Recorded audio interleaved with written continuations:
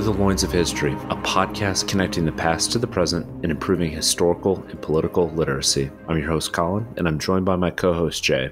And today we're going to continue our series on the fall of the French Third Republic. Jay, do we have any shout outs this week that we want to give to our, our new subscribers before we get started? Yeah, want to give a shout out to Dennis Walton, our new subscriber on YouTube. Dennis, thanks for thanks for subscribing, and for the rest of our listeners, if if you subscribe to us on YouTube or if you're listening to us on Spotify or Apple, if you give us a five star review and comment so that we can see your name, or even just comment on the YouTube video, we'll give you a shout out at the beginning of our next episode. We love getting new listeners, and and yeah, Dennis, thanks for subscribing, man. All right. And with that, this is our third episode in the Fall of France. We're taking a little bit of a different approach from other episodes in our Fall of Civilization series, only because the Fall of France is uh, such an interesting topic to me that it's worth breaking down in detail. And this episode is going to be our first episode where we really talk about only a period of about two, two and a half years in France. So we're going to talk about the context of the remilitarization of the Rhineland in 1936, March to be exact. And I'm going to assume that most of our listeners have at least heard about the remilitarization of the Rhineland. If you're a millennial male or even Gen X, maybe, and you've played some World War II video game, usually starts with the remilitarization of the Rhineland. That was kind of seen as the as the no turning back point in in World War II. So, assuming that most of y'all have heard about the real the remilitarization of the Rhineland, I'm going to assume though that like cuz this was true for me. Like I have a degree in history, did not know the details. I've done a lot of research and reading on World War II. Um, one of my research interests is actually in the Pacific Theater. So my, I don't know how to describe it. Like it's World War II, but I have done a lot of World War II reading over the course of my career, and I didn't know a lot of these details. So I'm going to assume that that y'all have heard about the remilitarization of the Rhineland, but I hope to give y'all something new and really talk about the decisions that France was making for the year, year and a half leading up to Hitler's decision and how that played into what felt like an inevitable collapse in 1940. And we're going to talk about how it applies to us today. And we're going to talk about uh, what the French could have done differently. Okay, so point number one wanted to give some background into why the demilitarization. Why was why was the Rhineland demilitarized in the first place? Was it just kind of like this punitive measure? It was actually much more than that. And at, in the Treaty of Versailles at the end of World War One, the whole framework was we have to prevent another great war. So yes, there were reparations, which by the way, Germany like basically never paid any of their reparations. Um, and the whole like the whole purpose of the treaty was to completely neuter Germany's ability to start another war to be aggressive. And they in the in the allied powers, Great Britain, France, the United States, Russia, really thought that by doing that, well, that will prevent a war. If the people who started the war can't start another war, then there won't be any war. Uh, and what they didn't really think about and what they didn't really consider uh, in the Treaty of Versailles was okay, we've done all these actions in 1918, 1919, and so on to, to neuter Germany, but what are we going to do 20 years from now? Are they are they going to start a war then? And they really they really didn't think those things through. So France in the treaty insisted that the entirety of this area known as the Rhineland, which is effectively the area in between Alsace Lorraine, which was controlled by Germany in between 1870 to 1914 ish, well, 1918, I guess. Uh, but it had been given back to France in the treaty. So it was this area between Alsace Lorraine and the Rhine. The most significant part of this area was known as the Saar, S A A R. The Saar had the highest contra- concentration of German industry in the entire country. So if you think like here in the United States, you know, especially early 20th century, like steel mills in Pennsylvania uh, was a huge thing. Coal mining in Western Virginia, gold and silver in Nevada and California. Like industrial sectors were geographically focused in a way that like it's still true today like silicon valley for example is like the it focus it would actually silicon valley is a great example it would be like the united states losing a war and uh, you know whoever japan i'm thinking the man in the high castle here japan was like hey we're going to have troops in san francisco and you guys can't put any troops in Silicon Valley. Now, the point is in the event that Germany were to break the treaty, were to be aggressive or something like that, it would be incumbent upon the French or the Japanese, in my hypothetical example here, to be able to essentially like rapidly move into that area and take that economically valuable location and kind of hold it hostage the so the the, the demilitarization meant that they couldn't garrison troops and they were not allowed to build fortifications. That's that's all it meant. It wasn't a no man's zone. There were plenty of civilians there. The the industry during times of peace was completely allowed to operate as usual. They just couldn't defend it, and that's and that's why the de- the demilitarization was so significant.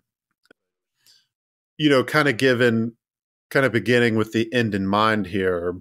Um, if France allowed Germany to remilitarize the Rhineland, especially this area, the Saar, essentially Germany could like build fortifications opposite the Maginot Line, and they then could prevent France from taking any punitive offensive actions towards Germany in the event that maybe Germany say they got aggressive with Czechoslovakia or with Poland or with the Russians even. Uh, spoiler alert. Spoiler alert. France could effectively do nothing. But with the demilitarized Rhineland, France, you know, had Germany by their manhood. and Germany really do anything about it. They couldn't defend. They were very much open to attack. That's why uh, the remilitarization of the Rhineland is significant. So all right, so this is this is the story of how the Rhineland got remilitarized, and it's honestly just kind of one of the more facepalm moments in French history, because it's like, you know, again, bottom line up front here, France had ample opportunity to enforce the treaty, and they literally did nothing. So the question we have to ask ourselves is like, why? Like, what? What was going on with French decision makers? Uh, to you know what was going on within France to to lead to this just like obvious facepalm moment. So first point here is that the French actually got notifications that Hitler in Germany was planning on remilitarizing the Rhineland as early as October of 1934. They had a consul general in Cologne, which Cologne is in the Rhineland, that the the German government was planning on sending troops back in. You know, Hitler came to power as chancellor in 1933. So this is I think slightly more than a year after Hitler came to power and that was immediately one of the first things that he wanted to do uh, after, you know, he was already building up the Luftwaffe the Reichswehr was already, you know, beginning its clandestine rearmament and the Rhineland was like Hitler knew that they needed to remilitarize. Uh, when that consul general started sending reports back to the French foreign ministry, they basically did nothing. Uh, and it was and it was very obvious that the tone, the mood within the French government this entire time would be one of just fear. It was strange because th- the fear was not because Germany had this massive military. Like and we'll see. Like German's military was still pretty puny all the way up into March of 36 and and beyond to be honest. But there was just this like debilitating fear that had taken hold of the French government, and that when kind of like when you hear news that you really don't want to hear, your first initial reaction is denial. And that is exactly exactly what happened. So there was this guy, the French foreign minister at that time was a dude named Pierre Etienne Flandin. Uh, and he he's an interesting fellow. Won't go into too much detail, but he plays a large role in at first kind of ignoring, but then being one of the kind of voices in the wilderness once it was blatantly obvious, just crying out, going like, "Can we do something?" The other the other main guy that's worth talking about and how this all plays out is the uh, you could think of him as the senior military officer in the French military, guy named Maurice Gamelin. And Gamelin gets basically, you know, the historical credit for being a coward and not, you know, not leading the French military to take the steps that it needed to take to to counter Germany. Which that's kind of ironic. He was labeled a coward. Was Gamelin in World War One? Wasn't he like one of France's greatest heroes? Didn't he have a heroic and that's why he was put in such a high regard and such a high position. Yes, it's not that he was a hero because I don't think he had like any combat. You know, he didn't wow anyone in combat. Rather, he was Joffrey's assistant. Uh, so Joffrey was a hero in that he was he held the position of the senior military guy in the French in the French army in August of 1914. And I'm pretty sure he retained that post for at least a year, if not two. Uh, and Joffrey's an interesting and fascinating guy to study, but he's very much credited for stopping the initial German invasion and like just the initial defense. He was he was later he was later fired and uh, I forget who took over from him. I don't know if it was Foch or not, but anyway, yeah, he's the guy that's credited with stopping the initial German invasion. Gamelin was like his either his chief of staff or like aide de camp or something like that. So Gamelin like came to power because he was connected. He came in on Joffrey's coattails, more or less. Yeah, and I'm sure he played a significant role in World War One, but like I don't I did not get the impression that he was a hero. Well, you know, I did notice one I did notice one thing about that. He had been in for 49 years by the time uh, oh, excuse me, 45 years by 1935. So he began his military service in 1891. So he was a very old man, really, by the time you know this started. So you're asking like, be like asking your grandfather to go get in a street fight. Yeah, no, that's that's funny. I just watched a Jackie Chan movie, and I'm pretty sure that grandpa could protect me pretty good. or at least that's what he looks like in the movies. Sorry, that was random. Yeah, so Gamelin and Flandin uh, are two main two main characters in this story here. So Flandin was getting these reports since the end of 34 and in 35 is when he started to take it seriously. So like months after the fact. Um, the one guy, the rest of the French government was doing nothing. Yeah, so Flandin began becoming concerned. Well, like any good foreign minister, his job is to, you know, be the guy who talks to other governments.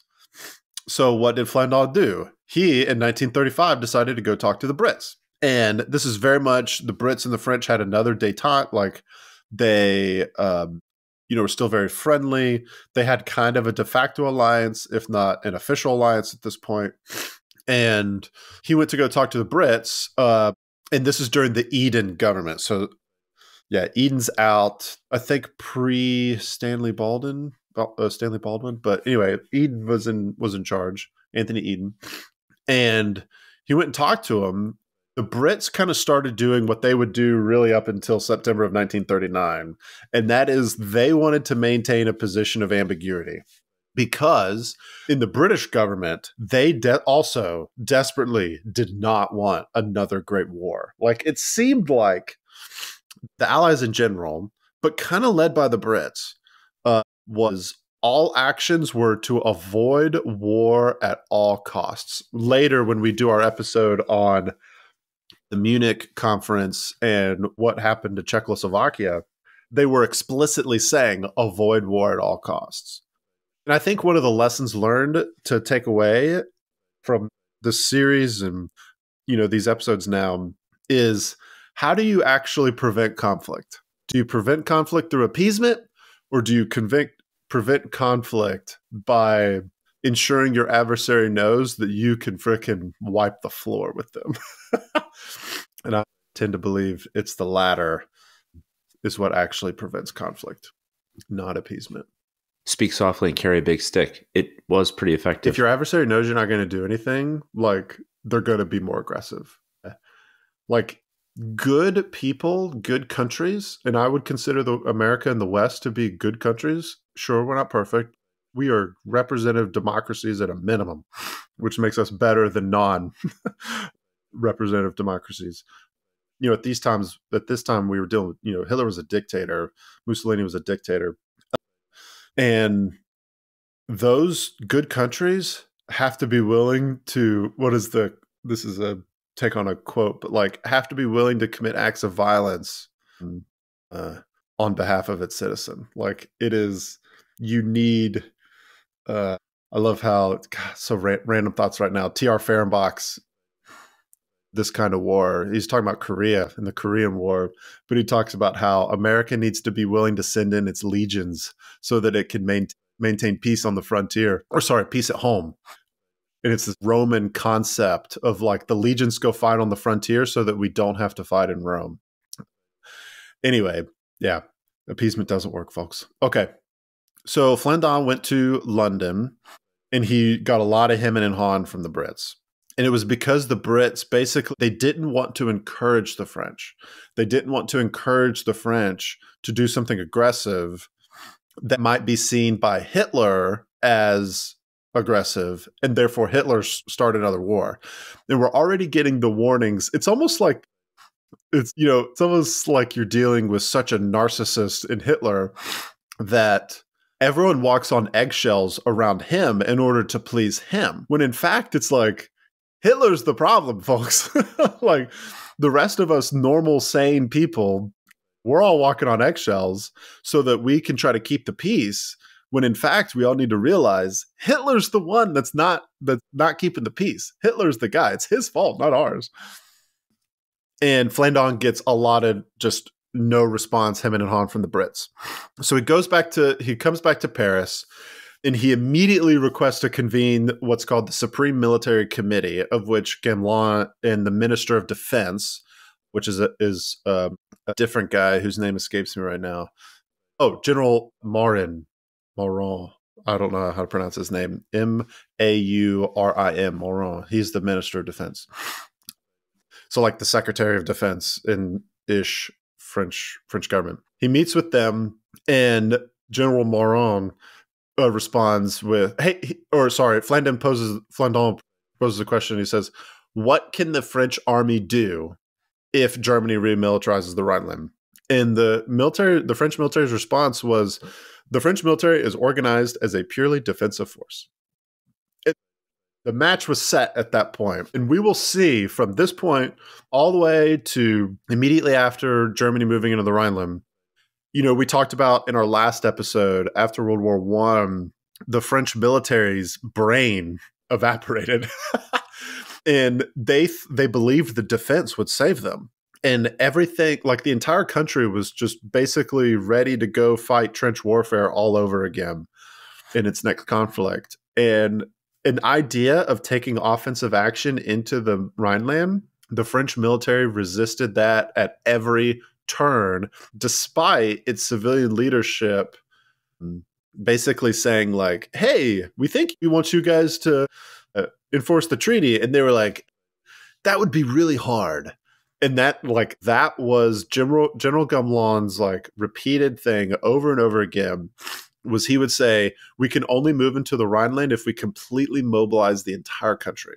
Like call up all the reservists turn over like industry to the military like start dictating you're going to build ammunition and not you know whatever it is that you otherwise build that kind of thing. You're going to build tanks and not cars. You're going to build planes and not you know other things etc he was like, we have to completely mobilize. That's the only way that we can move into the Saar, even though the French standing army was like some 70 divisions at this point. they had a very large stand. They had the largest standing army in Europe. And yeah, Gamelin took a it's all or nothing approach. And it's kind of obvious that the reason why he did that was he was just trying to avoid conflict. Again, prevent avoid war at all costs. Not prevent war, avoid war at all costs. All right, so Colin, go ahead. You look like you're about to say something. Bear with me here. If you've ever, and this is going to seem unrelated to history, but you'll get it as when I get to the end of it. If you've ever taken uh, like Lean Six Sigma classes or like to, to that certification about process, um, you might have come across this this story. So I think it was Saturn. They, you know, obviously they used to make cars. You don't really see them on the road anymore. There was an, and I think it was Saturn. I could be wrong. Feel free to fact check me, but I do know it was an automobile maker. In this course, I remember the instructor talking through that they had one specific part and they were like their engineers came back and said hey if we fix it now we can fix it for like three cents per part and saturn said no fast forward and they made it to another step in the process of assembling and they said hey there's still a problem i don't remember which part it was but then they're like it'll be 10 cents if we fix it now saturn said no fast forward another time they're like hey this is not good and this could be really bad if we stop we can fix it now for 50 cents nope they got all the way to the end and they're like hey at this point now we can fix it still but it's going right. to be like a dollar a part a huge cost millions yeah. of parts so it's it's we're talking millions of dollars huge cost they didn't what ended up happening mm. was a lot of people ended up dying driving saturns yeah. because their cars were um, unsafe and they were causing accidents i want to say it was pretty huh. catastrophic what happened a lot of people yeah. died the company bankrupted because of it because the settlements and the lawsuits yeah. and the fallout was billions of dollars. Perfect. Now let's relate that yeah. to the French. In 1934, Hitler's army was, mm. I think it was uh, a book called Blitzkrieg that I was reading about the German army. And in 1934, yeah. they were basically just like testing out these theories. They had armored vehicles that were covered in cloth and plywood boards because they didn't have enough material or the manufacturing capacity to put them all, you know, in steel oh, yeah. and metal. So it was basically all a facade. All the French had to do yeah. with 70 divisions was march in and say, "Hey, you're not going to do that. Knock it off. We're going to depose you. We're hey, we're you know what? We need to enforce this treaty." In 1934, they in 1936, even then, they still had units you know, they still had units with these basically makeshift armored vehicles. And I say makeshift armored vehicles because mm-hmm. one of the things we know the Germans oh, yeah. so well for in World War II was yeah. like panzers and how like invincible they were. But 10 years before, yeah. they were cloth and wood, basically. Fast, you know, so when they invade in 1936, could have stopped them then. Cost would have been a little higher because they were a little better. They were they were really starting to to materialize their military. They were starting to their doctrine was becoming more sound. Could have done it then, didn't do it. Could have done it in 38, but they didn't. And at this point, by the time they invaded France, the Germans had oh, yeah. such a, they truly had a war machine at that point, and they were overwhelmed. They had perfected, like, it's interesting. You look at, like, anybody's in the military, the US military, like, you look at our doctrine of like close air support, deep air support, integration mm-hmm. of fires. Oh, like yeah. that was the Germans in World War II. They perfected it. I think it was Guderian was like, hey, no, like we're going to build yep. the German army around tanks and everything else is going to support the tanks. We're going to have our our artillery fire. We're going to coordinate with air fire. Our infantry are going to be there because we're going to avoid trench warfare. We're going to set up supply mm-hmm. lines and everything is going to move so fast and it's going to be so coordinated that you're not going to know what what what happened to you and they had years mm-hmm. to perfect it and the french did nothing sitting there hoping to avoid war hoping that yeah. hey maybe he'll this guy will just stop maybe maybe he'll stop but he never did and the cost was france being completely overthrown and world war ii breaking out love that saturn example because you're right it is there's got to be a, a term but your costs just exponentially go up the longer you continue to put your head in the sand um any any project manager and this this is you know any project manager knows like the further you go on a project yeah. any course correction is going to cost more time and money like anybody that's in like software development any anything out there further you are along the more it's going to cost the longer it's going to take to fix it the, the greater the effort's going to be you know, it was probably obvious in that Saturn th- example that they were like, "Hey, we need to fix this. Like, this has got to get fixed at some point." As opposed to like, we don't really know. This could be a non-issue. Like, if it's a little more blurry, like that's a different situation. But in this situation, it was you know in the you know the Rhineland situation, it's like they knew it was happening. Uh, like Hitler's Hitler advertised his intentions all the time with his speeches. Like no one was shocked.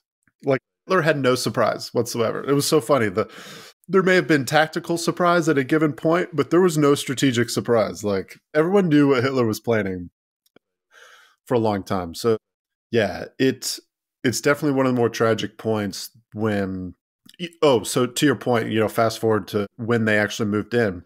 When the Germans remilitarized the Rhineland, they only sent three battalions in, three battalions of infantry. That's it. Uh, for those of y'all that maybe aren't as acquainted with the military, like that's nothing. like there are, there's probably, you know, depending on the organization at the time, but roughly there's like a dozen battalions in a division, uh, like combat battalions, not to include support battalions a dozen battalions in a division, and like France had 70. 70 divisions. Uh, so we're talking like hundreds upon hundreds of battalions. In Germany, put three into the Rhineland. We'll talk about from towards the end of the episode of what the Germans thought would happen. But you talk about like it wouldn't have even come down to actual military action. Like the French government just had to communicate to the Germans, hey guys, we hear that you guys are planning to remilitarize the Rhineland. Hey, just so you know, that's a violation of the Treaty of Versailles, and we absolutely will like invade the Rhineland. Like we will, we will, you know, move move in to counter your remilitarization. Like just in case you're wondering, I'm already going to tell you what we're going to do.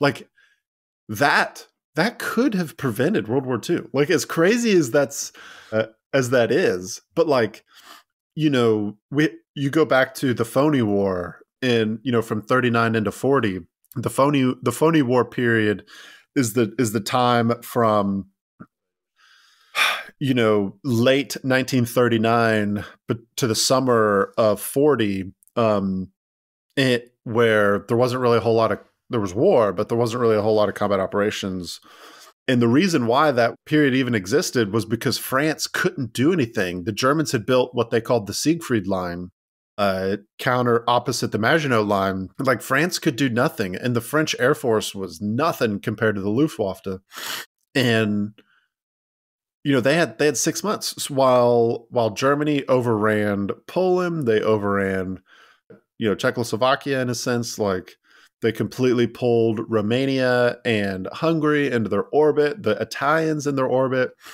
in Yugoslavia, and like France could do nothing.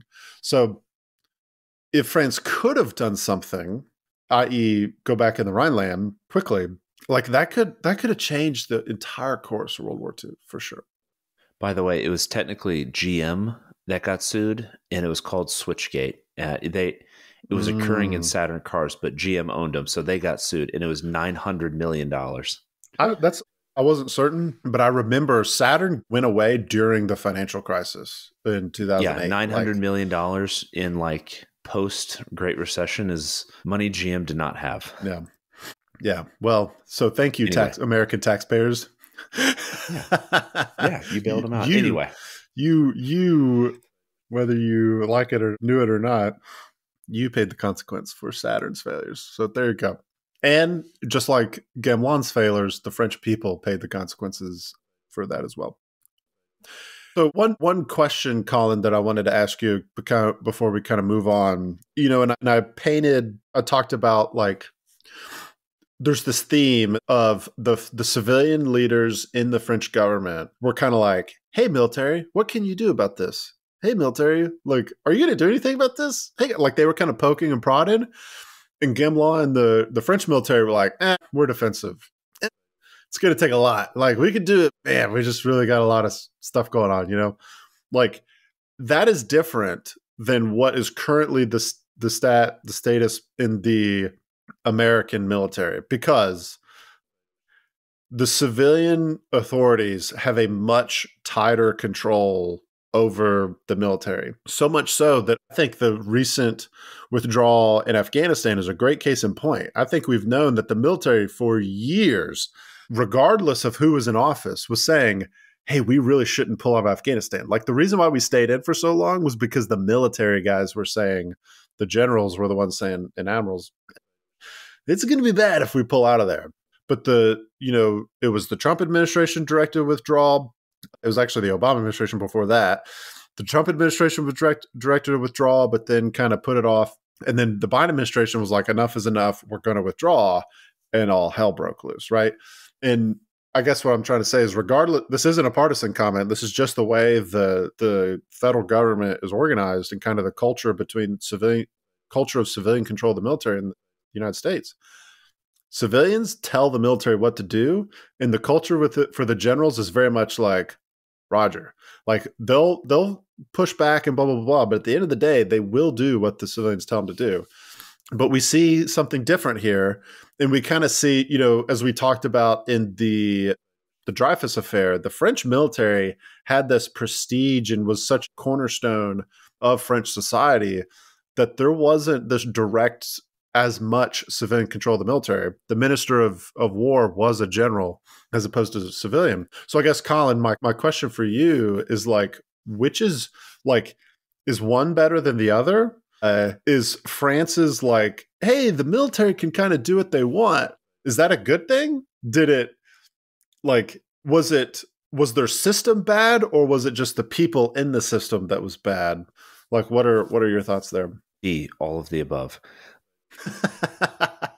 I think humanity has a tendency to drive on opposite shoulders of the road, vice mm. right down the middle. So the French had all of the opportunities and plenty of people in positions of authority to make the decisions that they needed. So you can't really say it's like a system issue because it came down to like a moral or intellectual failure on their part, you know, whether it was their fear, it, misunderstanding. They had people in positions that could have made difference to stop it. And then you you know you bring up like the US and civilian control like I don't think it's necessarily better to have civilians calling the shots, but it is important to have civilians holding leaders accountable mm. where they can say very quickly say, okay, you know, like if the Secretary of Defense has a very bad policy and ends up that policy gets a lot of Americans killed or puts us in a very bad situation. Americans have a means to get rid of that person kind of indirectly by mm. voting out the president or you know then they replace them or just political pressure in general to have their elected officials get rid of them so that's kind of what you want. Um, now that's great in theory right? So like in theory that that works great. It's like oh representative people are logical individuals and they'll think through things. And if somebody doesn't do their job they'll just remove them it's like unfortunately that's just not the reality we live in. So yeah I kind of look at it as like it's not like one system is better than the other um, because people are flawed. Like France, it wasn't a process system, you know, issue in France. It was really honestly just kind of a, a moral and mental failure on their part. Mm. The U.S., though I think the system we have is better, is still subject to the same moral and mental mm. um, weakness that mm. France is. Right. So, like, if you have if you have bad generals and bad elected officials like you're not your policy is going to be bad and your actions and then the subsequent consequences are not going to be good. I mean mm. look at the arab spring like we thought that was the greatest thing ever at the time and then it turned out to kind of generally be a disaster. I mean it destabilized mm. a whole region in the middle east. Yeah. It was a bad policy decision. We went away from that whether you like Donald Trump or not, his idea of like, I'm just going to blow you up on a tarmac. Um, If mm. you want to do something, I'm not going to start a war, but if you want to do something, I will come at you with the full might of the United States military. Guess yeah. what? People kind of acted a much more civilized, and there there was peace in the Middle East. It was crazy. ISIS just went away. Yeah. ISIS disappeared. They weren't even at the debates, they weren't even brought up. Yeah. And this is not a pro Trump type of thing. This is a You can have the best intentions executed by people that don't know what they're doing, and the consequences can be bad. I think it's a people issue. You yeah. have to have a means to hold people accountable quickly. And if it's not quickly and it's not done by reasonable people, it's not going to be effective and you're just going to get the same results. Dude, I love that answer. it was, yeah, I think you're right. Honestly, I think you somewhat changed my mind because when I was wrote that question, I was thinking like, nah, the way we have it here in the United States is so much better. Even I'm not the, denying it is better, but how but, much better it's you know. No, yes, yes, that was clear to me. The it's like what really matters here is people are fallible and both systems are subject to weak people. That's and that's such a good way to put it because that's exactly what was going on. Like there's just so much weakness in France at this point that yeah, that had more to do with the collapse in the system. So let's kind of let's kind of fast forward to beginning of 1936. And by this point, so we're at like 3 months prior to the remilitarization. At this point, again, Hitler was telegraphing exactly what he's planning on doing. Like it was not a strategic secret here. Um, there was a lot of international division as to what France should have done. For example, the Belgians, who were extremely pacifist at this point, which is crazy because they declared neutrality at the beginning of World War One, uh, and that worked out well for them. and they were extremely pacifist, and they communicated to the French if you guys invade Germany, we consider our defense alliance null and void and we will not support you in starting World War II. Like they they blamed France because Germany violated the treaty. They were blaming France. So like I wanted to mention that because like just being as fair as possible to France even at this time, it's like they had other people who were putting a lot of pressure on them to do nothing you know, Belgium seems like a really small country, and it is, but they share a large border, like, and a very as World War One and World War Two show, like the the fastest way to Paris is through Belgium, and uh, the best, the biggest defense for Paris is actually what I don't know. Is it Liege? Is that how you pronounce it? There's a big fortress, Liege. Anyway, so it's like this alliance with the Belgians was of the utmost importance to the to the French. And so when you have the Belgians saying like, "Hey, we're if you do anything, like we're done, we're out," like don't even don't talk to us type deal. That's a, that's a big that's a big um, pressure. It, also that we've mentioned in our last episodes like internal france divisions were at the boiling over point like there were riots in the streets people were people were dying a lot of these things we talked about February 6th, which was you know there was attempted coups and you know the communists and the fascists fighting in the streets sometimes together sometimes against one another. Um, it was just a really bad situation. I just wanted to mention that to say like you know hindsight's 2020 and we could have said like france should have done something. But it's like if we were to put ourselves in that shoe like that's a tough decision. It's a really tough decision to to decide whether or not to go in so March March 7th, the day it happened. That morning in Berlin, the French foreign minister, a Baron Constantin von Neurath, uh, he walks in to the French ambassador with this happy and cheerful tone.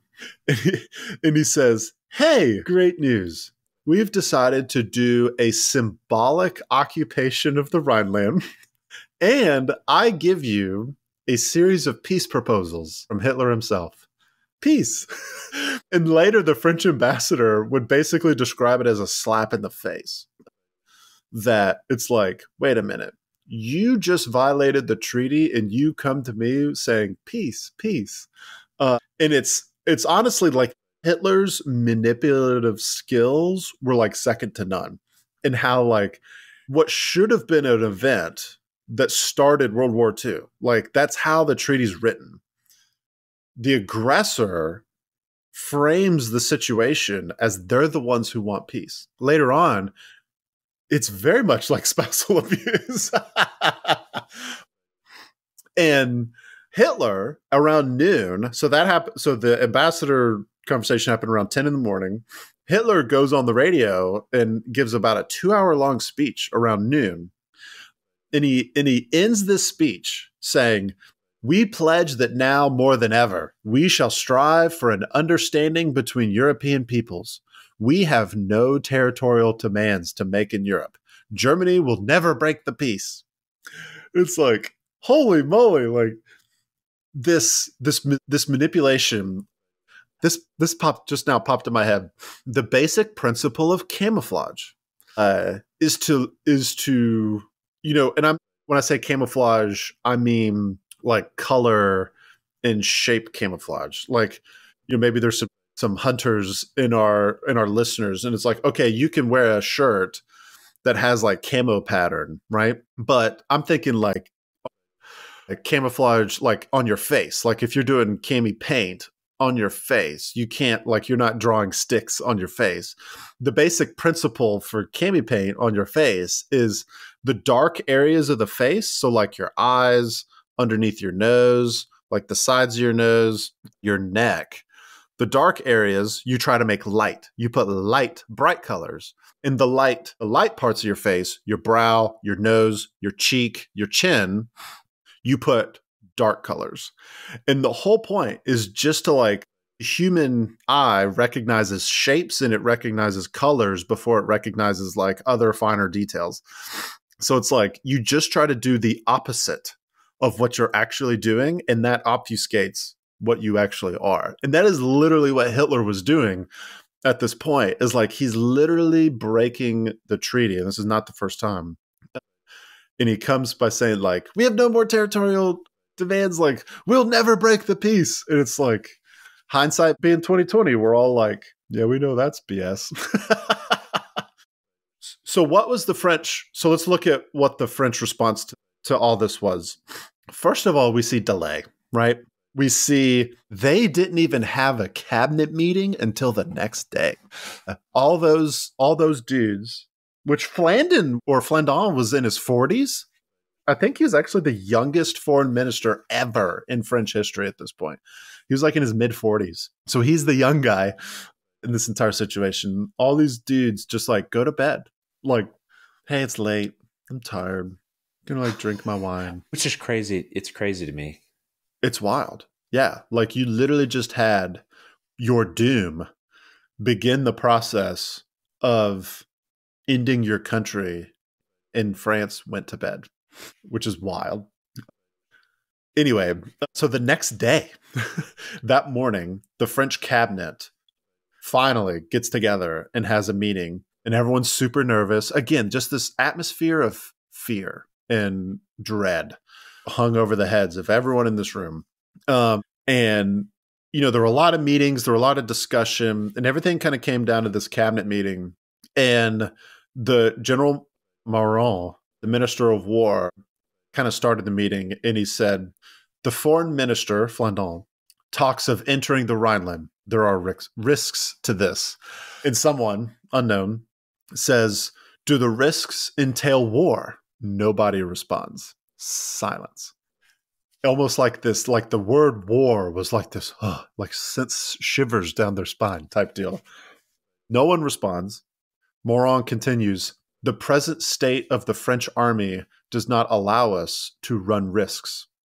And Flandin, who, after talking to all the people, you know, I kind of mentioned at the beginning of the episode, he, at first, he was kind of also afraid, but then he kind of realized, like, we got to do something here. Uh, Flandin looked to the president at, at this time, and he just says, I see, Mr. President, there is no use insisting. And that's it. That was the cabinet meeting. Like it was very much like no one wanted to say the dirty word. No one wanted to talk details. It was just kind of like it's risky. Let's not do anything. And that was it. Like I'm sorry. Like that's literally the definition of cowardice. For like you have the fate of millions of French people in your hands. You have like I said your doom is making moves and they're just like eh, it's too risky let's not do anything. It came down to really, at the end of the day, cowardice. It wasn't a process thing. It was, yeah. we're just not going to do anything. Yeah. Which honestly, I think one of the takeaways here is like, weak leadership is not merely a talking point. Like strong leadership actually matters in moments of crisis, in like intense things. And to be honest, like the French people were not privy to the inner workings of this meeting. Like there was no internet, there was no CNN, you know, Fox News type deal. It was like they had the radio and they only got the information when, you know, the politicians decided to go on the radio and they had the newspapers. As we talked about before, like the newspapers were ridiculously biased, very tabloid esque, like not reliable sources of information at all. And it was just like weakness. Like the American people should absolutely look to strength in their leaders. And, you know, before anyone draw conclusions that I'm not trying to say here, is that like strength, like strength is comprehensive. It's not like, oh, I'm an angry dude, right? It's it's like strength of character, strength of will. Like, okay, when the hard decisions need to be made, I'm going to make the hard decision. Mm, and I'm going to do what's think, right. Go ahead. I think strength goes beyond just military might. Yes. Like you can have a great military, but if your economy is in shambles, if your country is culturally, politically, you know, all of these things in shambles, if your education, there's things you can do to project strength of will and character and all of these things that will formulate a strong nation of which a strong military will flow out of. Hmm. It's not just simply going around shooting guns and dropping bombs in places. I do think that's part of it. Sometimes those those tough decisions and you have to do that but strength is not like the French. There's there's probably even more ways to defeat Hitler going back into the early 30s and 20s even in Germany. Hmm. There's ways that France could have built themselves up hmm. beyond just their military because they had 70 divisions, so it wasn't a numbers game. Hmm. You know, had they had a stronger national will or national identity, stronger economy where people weren't there you didn't have communists and fascists fighting within you know different sects of its own government they yeah. might the, the french third republic might have been able to put up stronger resistance even after they got invaded let's say they had made up made military mistakes but they had all these other things to unite them and create a strong republic yeah. they might have been able to resist longer um, or dominated and prevented germany from rising at, at all I think you're right. I actually wanted to read two quotes. The first one's short and the second one's kind of longer. To really that really just kind of paints the picture for the weak and miserable state of the leaders in France. The first one is a later recollection from the prime minister of France at this time. His name's Albert Sarraut. He I said this in earlier episodes, I should say it again. My source for all of this information is William Shirer's The the collapse of the Third Republic. Uh, and in this book, he just he did such a good job talking directly to these people. And so, like both of these quotes are individuals who spoke directly to Shirer. Uh, so Sarraut later recalled, uh, "Why did the chief of our arm, the why did the chief of our armies, Gamelin, not grit his teeth and pound on the table and in the presence of the government hammer out a ringing profession of his faith? Why, instead of multiplying the objections in order to discourage action, did he not cry out to his listeners, We must march. It is our duty. We will win. There's nothing else to do. And I think what Sarraut's getting at here is like, where's the conviction? you know, like where's the like, this is France. Like these Germans, their military is almost non existent. Like, who are we? I think I think in our very first episode, Clemenceau has a great quote that that Shirer brings out, where Clemenceau said decades before, he says, Where is France? What became of the French? And it's like, are these the are these not the same people who formed Napoleon's Grand Armée? Are these not the same people that like burned Moscow? Like that conquered all of Europe? Like, is this not the same country that has been the dominating force on continental Europe for almost like like 800 years? Uh like what? He's like, "You're you know, the chief of the army, dude." If you, if you want to contrast it to Rome, if you know about like the Punic Wars during the Second Punic War, Hannibal was just ravaging Italy, and mm. he beat the snot out of the Romans again and again and again. Like I think at Cannae they lost like sixty to eighty thousand Romans just in one battle. I mean, it was just a slaughter. You know what the Romans did? They're like, all right, let's go get another army. Let's keep let's fighting. do it again. Soldier on.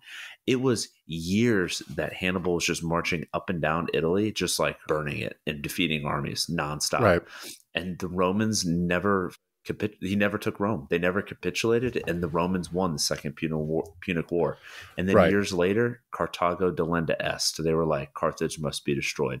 And then they salted yeah. the earth. Like if you were to compare a national uh, like strength, national fight leaders who, though even some of them were incompetent, like I can't remember the guy's name off the top of my head that led the Romans in the battle of like Lake Lake Trasimene uh, mm. prior to Cannae. They just like basically they just like walked. They didn't have any patrols out. They had no formation. They just were like bebopping their way up against a lake with a hill. bebop, beep, beep. exactly, and they had no idea that the Romans or that the Carthaginians were about to slaughter them. They did. Yeah. So they didn't have like competent leaders. They just had a strong country and a will to fight. The French just yeah. didn't. Yeah. No, you're exactly right. And that was like that was the identity of Rome, right? It's like we are Romans. Like you may beat us, but you will not win. Like we can lose a battle, but we will come back until that identity kind of faded and yep. the idea of what Rome was was no longer this indomitable, indomitable. I can't say the word indomitable. Right Thank you. Will like, and it just kind of, you know, these empires collapse not with a bang but with a whimper, right? Like that's been a consistent theme of everything that we've talked about. Yeah. Oh, I was thinking of the head coach of the Detroit Lions. What's that? I forget Dan his Campbell. name. Dan Campbell. You know, he gave that press conference uh, early may have been his first press conference. I forget what it was, but it was you know if it's on it's on the reel and short algorithms. But where he, he gave this press conference and he was like, you know, you're going to knock us down. They're going to like bite you on the way up. We're going to take a kneecap off. Like you can knock us down again. We're going to get right back up and we're going to fight you tooth and nail. We're going to fight you know viciously. And he was criticized, criticized. It's like he took a like, team that won one like one game, maybe two that season, to yeah. really like a play or two away from the Super Bowl in Detroit. And if you know anything yeah. about the Lions, in a very short garbage, time. garbage. Always have yeah. been. Hopefully, they always will be. But it's true. Like that attitude and that spirit does have something has an effect like that. Yeah, and I guess what to to final point it is like it's not mere rhetoric like it's not just like a good soundbite. Like it matters in moments of crisis. People need to know that their leader is going to continue to fight. And what that does is it makes you want to fight. It's like it has an effect of when the person in charge of your country, you know, uh, Churchill, like his, I think I read it.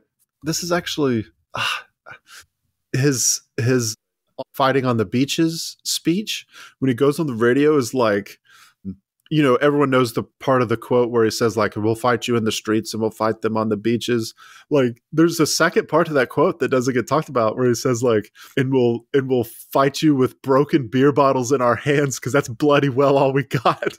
And it's like that's churchill's attitude of like like you are not going to conquer britain. Like you can bomb london you can bomb uh, you know, all these all these different, you know, Manchester industrial cities. Like, you can take us out. We are not going to give up. Done. Uh, and it's just like you didn't see that in France. France did not have that. You just had this defeatism that was rife like a cancer in the entire country. Um, okay. Um, okay. Some last some last quotes here briefly as we close, I wanted to talk about from the Germans. What did the Germans think at this time? Like, what would have happened if France would have done something? And the most telling quote is from none other than Adolf Hitler himself. And Hitler said later, he said, quote, If the French had marched into the Rhineland, we would have had to withdraw with our tails between our legs, for the military resources at our disposal would have been wholly inadequate for even a moderate resistance. Later, other German generals would recall that March 7th was the only day that they ever saw Hitler scared. And Hitler's demeanor was one of just extreme anxiety and stress on March 7th, 1936, in a way that it was never, he was never that scared again. Even to the very end, when the Russians were approaching Berlin, he was not scared. He was angry. He was fired. Like he was trying to fight back. Like he was, he began like trying to control the defense of Berlin himself. Um, but like even Hitler was scared on March 7, 1936, and the French did nothing. Um, one one last quote that is just too too good to pass up um, in especially in our podcast about connecting history to current events and you know improving political and historical literacy. This is Shirer. This is the author of The Collapse of the Third Republic. France emerged from the crisis weakened in other ways. It had feared to act without British approval, and henceforth it would do nothing without the prior consent of the government in London. It thus abandoned an independent foreign policy. This subordination to Britain might not have been so disastrous had there been resolute men with a knowledge of history, even contemporary history, at the helm in London. And I think that, like, you know, to close this episode is like that's i think in, in a very real way what we're trying to do here at the loins of history is like we want resolute men and women who understand history to be armed to face the challenges ahead. Because we all know there are there's challenges now we, and we've overcome challenges and there will continue to be challenges in the future. Some you know probably worse. I don't know when but worse than anything that we've ever faced. But we need resolute men and women who understand history so that we don't repeat these same mistakes that were repeated in 1936 and as we continue to talk about just the repeated mistakes after that i'm going to quote a great historian here Mm. A leader with no knowledge of its people's or its country or the world's history is like is like a captain on a ship with no rudder. Mm. that was yeah. That was Colin at the Loins of History that just made that up on the spot. I love the Michael Scott. Michael Scott. Oh, it's, like Wayne Gretzky. Michael, Michael Scott. Scott. that was my Michael Scott moment. Yeah, that was you your Michael true. Scott moment. Yeah. If you don't have an understanding of history, you have a tougher time predicting the events of the future and making decisions in the present. Yeah. Yeah. Dude, we should totally change our mission statement to the loins of history is designed to create resolute men and women with We're a knowledge of history to world leaders right now. that, that's who our target audience is. Um, well, every American speaks to world leaders when they vote. We've talked about that. Uh, like I know it doesn't feel that way sometimes, but it really does matter. So, okay. Jay, fantastic episode and you know, a lot of thought-provoking conversation on having a spirit of resoluteness amongst a nation's people to stand to the trials of of current events that seem to be slipping out of control right now. So, good for people to go back and look at history to try and um, build some of that resolute character and and solid decision making so that they can look toward the future and, and make the right decisions now. Hmm. You know, if you like what we're doing at the Loins of History, please like and subscribe on YouTube. You know, we're also on Spotify, Apple. If you like, uh, give us a five star review and a comment on Spotify or Apple or uh, Podcast Addict. We'll be able to give you a shout out if you subscribe on YouTube. Uh, depending on how many subscribers we get, we'll try a week. We'll try and give you a shout out as well as a comment, especially if they're good and productive comments for uh, conversation. Jay and I are also on social media in some iteration of Loins of History. We do like getting feedback via DM or Gmail, things like that. So we have gotten some some solid feedback and requests actually back from some listeners. Thank you, and we'll talk to you next week.